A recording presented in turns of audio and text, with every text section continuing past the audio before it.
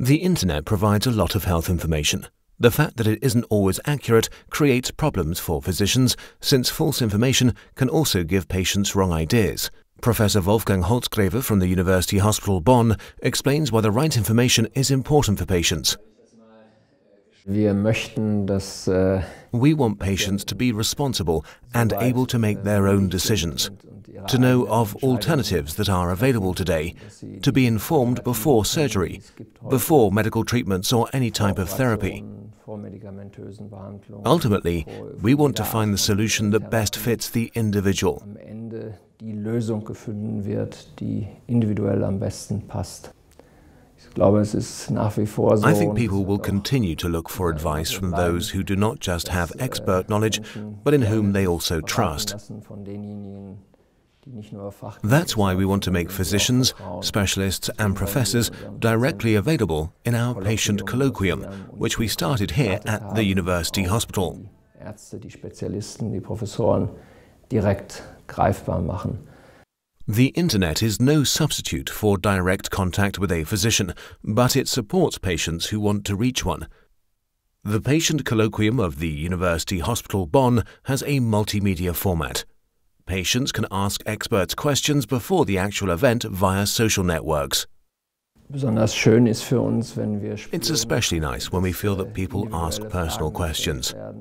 This is the case when basic information about diseases and today's already existing options are available. Erkrankungen, über die Möglichkeiten, die es You can then discuss what fits the individual situation best. der individuellen Situation am besten passt. Traditional media are not forgotten either. Once a month, a local daily newspaper introduces the next topic and the speakers on a double page spread. Dr. Christina Kaiser is one of these speakers. This evening, she lectures on breast cancer. Brustkrebs ist ein Thema, das viele Frauen betrifft, da etwa jede zehnte Frau im Laufe Breast cancer is a topic that concerns many women, since every tenth woman will develop breast cancer during her lifetime, or many women know someone in their family or among their friends who are affected by it, which raises questions. Gynecologists are frequently the patient's first contact when it comes to topics such as early detection and screening of breast cancer, but also if there was a conspicuous finding in the breast, of course.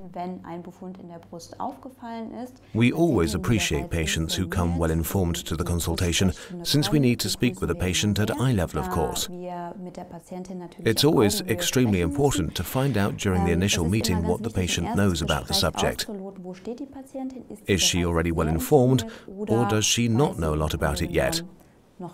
When patients are already well informed, it's always essential for the treating physician to find out where the patient got her information and whether the information is factually correct.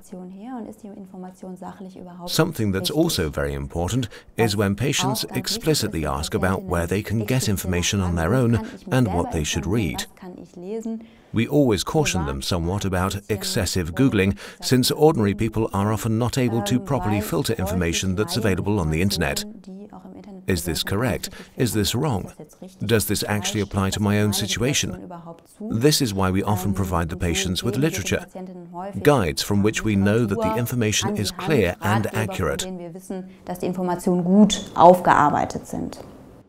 The audience can also directly ask questions, of course.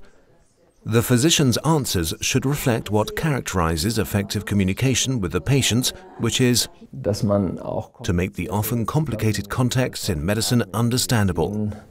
äh. This includes both patient consultations and public lectures. But how did the audience actually like the event? Mir hat sie sehr gut Uh, I liked it a lot because it affects me. I've looked into this previously, and this was very informative for me. Informativ für mich.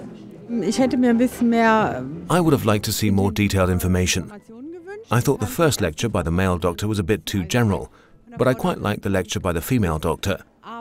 As a patient affected by this disease, I already knew a lot going into the lecture, so a lot wasn't new to me. hatte ich mir ein bisschen I was hoping for more information. mehr Informationen erhofft. Es hat einiges, was ich A lot that I already knew was reconfirmed and emphasized. To that extent, I'm very impressed by this event, at least by the second part. Zumindest von dem zweiten Teil sehr angetan.